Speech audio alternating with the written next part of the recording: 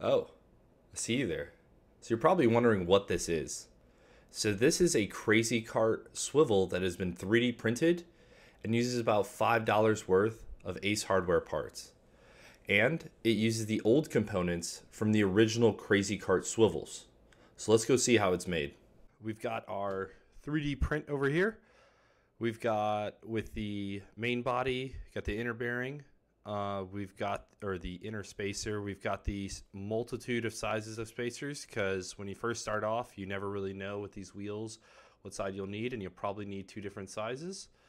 Then we've got our bolt, 8 millimeters by 100. We've got an 8 millimeter lock nut.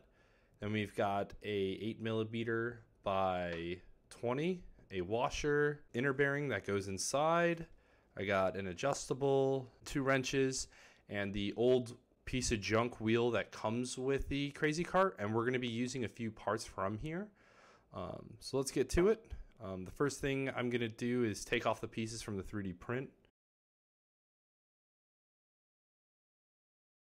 Let's take the old wheel apart and I'll explain which which components we'll need. We'll need the lock washer that comes off of it. Then this is the swivel portion of it. Allows it to free spin around.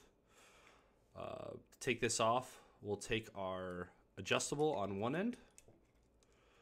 Then we'll put our wrench on the other. We'll take off this lower bolt. And this lower bolt isn't usable because it's not tall enough for the new main assembly housing. So we won't use it. Um, as you can see, there's a, a pretty big difference in size between these. Yeah, don't use that. We could use the washer if it's still good. Some of them don't come with good washers. So I would definitely recommend getting the right run from Ace Hardware or your local hardware shop. So here comes the messy part. So they do fill these with grease. So what we'll want to do is we'll take it and we'll flip it upside down. Then you could basically throw this out. If you're lucky enough, maybe you could take this uh, bearing out, but I wouldn't suggest it because it would require you to cut this open. Um, but if you're bold enough to do it, then be my guest. All right, so these are the main parts we need. This is typically metal. This is the inner bearing, but we won't need this because we 3D printed our own, which is a little bit bigger, and it's custom to the size of this. We've got two parts. This is our lower, and this is what all the ball bearings rest on. So we'll take that off. And we also have this seal here, and the seal is what hopefully keeps all the dust out and keeps the grease inside. This part that all the ball bearings rest on, we're gonna have to clean up because we're actually gonna be required for this install to take this, heat it up with a couple lighters, and then we're gonna basically fit it into position because we don't want this moving around because then this whole thing would start sliding around and your ball bearings would fall out. So let's get cleaning this.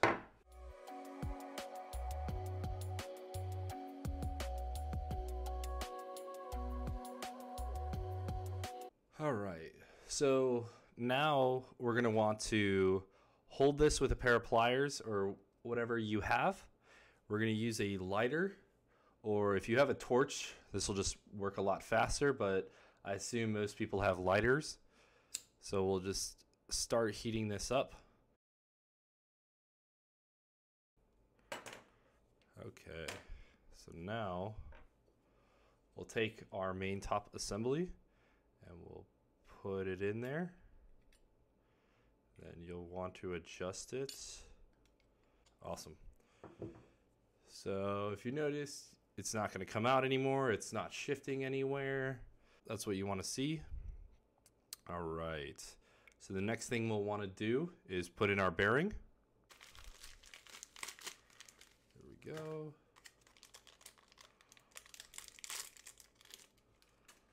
All right. So we'll take that.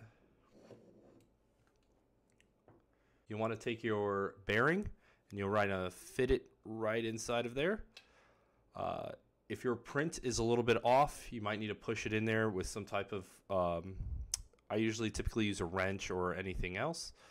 Then we'll want to take our other piece that we took off of the original one, and we'll want to take our spacer. This is our inner spacer, and we'll want to put it on top of that old piece, or I guess on the shaft of that piece. Now, the purpose of this is when you tighten it down, uh, you don't crush the ball bearings against the plate because then you won't get that swivel action happening. After we've got that, we'll want to take our plate and then we'll flip our wheel, our swivel over, and we'll push it down onto there. Uh, it, the shaft won't go all the way through the bearing. That's because of the redesign. The old one didn't support, uh, doesn't have the sight height for that. We'll take our bolt and we'll put it in there. First hand tight it, tighten it. Go. Take my 14, 13 millimeter, tighten it by hand first. Give it a test run to see it still moves. So it does move, allows for swiveling. Now we'll take our adjustable. We'll want to put it on the top there. And this is just a lot easier to do now than it is later. So we'll tighten it up. And if our inner bearing has worked, this will still allow us to swivel just like that. So if we want to, we can just spin it. Um, it might be a little bit of friction, but if you greased it properly and you don't over tighten that bolt, you should be good to go.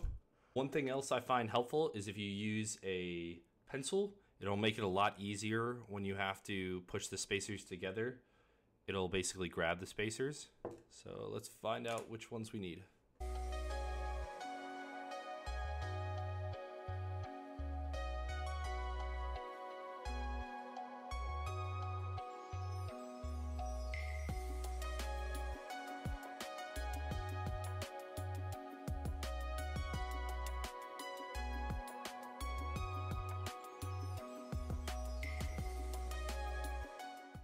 Go. Then we'll take our bolt. So we'll push our bolts from one end to the other with the pencil. Of course, we're going to get stuck a little bit. We'll wiggle it around.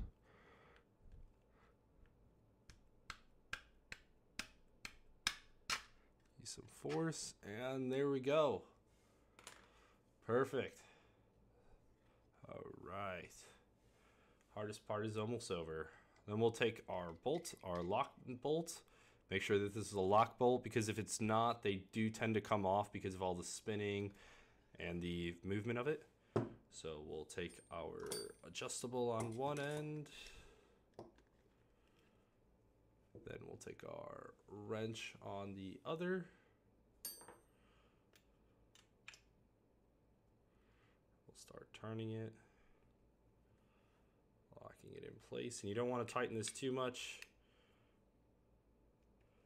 because you still want that wheel to be able to move.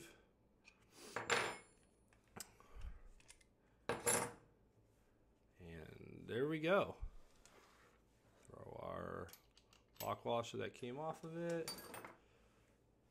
Boom. Now you've got a swivel that can go onto your crazy cart and last you forever. So satisfying.